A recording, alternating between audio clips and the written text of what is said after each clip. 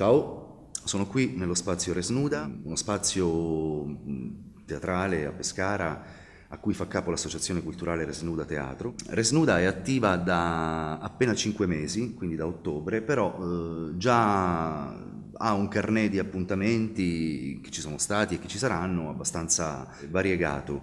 Eh, volevo sottolinearne uno in particolare che è eh, uno spettacolo che si chiama Tracce di cera, la storia del disco nel jazz, eh, un testo scritto da Marco Di Battista che andrà in scena proprio qui nello spazio Resnuda eh, venerdì 14 marzo alle 21 e domenica 16 marzo alle 18. Che cos'è Tracce di Cera? È un, eh, è un testo che ripercorre un pochino l'evoluzione del supporto fonomeccanico eh, durante il XX secolo fondamentalmente, quindi in quel periodo in cui eh, c'è stato un grande fermento nella musica jazz eh, con, con, i suoi grandi protagonisti.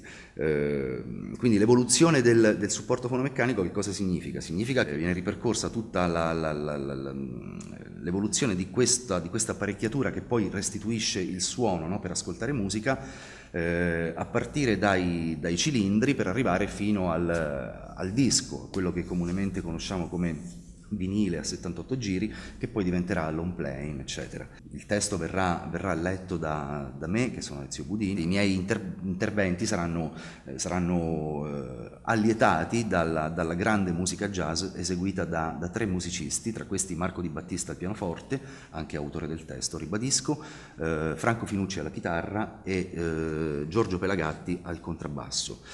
Eh, se volete potete seguirci anche su Facebook, sulla pagina Facebook eh, con Resnuda Teatro, eh, oppure sul sito che è resnudateatro.wix.com slash resnudateatro. Mi raccomando venite, vi aspettiamo numerosi, lo spettacolo è bello, è interessante e soprattutto si ascolterà della ottima musica jazz. Venite, vi aspettiamo.